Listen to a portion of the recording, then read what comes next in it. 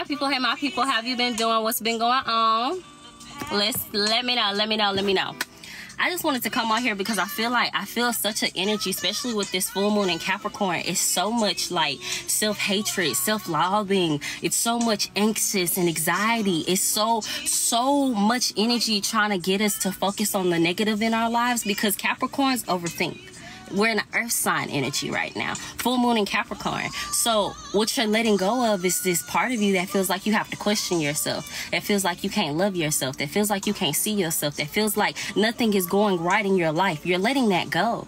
This full moon in capricorn is getting you to let go of your pain your attachment style to brokenness. Something that i've been telling y'all this whole time is like we're letting go of our attachment to brokenness and that takes time because in letting go to our attachment to brokenness we're really coming back into that sink of understanding. We got to talk ourselves off the ledge.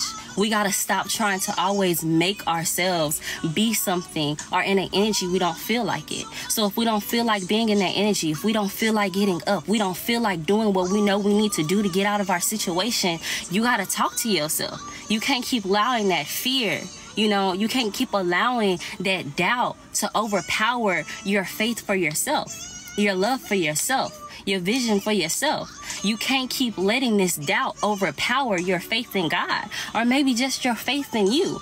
Why would you fail if this is something that you are putting yourself to? You are putting your soul to. You are putting, you are stamping your approval over it. So why would it fail? So I believe a lot of people in this season, you're going to have to understand that you are your biggest enemy because you don't allow yourself to be your biggest friend.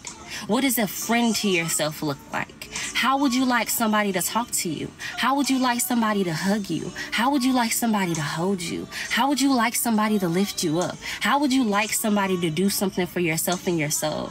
Hey, I just wanted to say, hey, lover. hey, lover. And how have you been?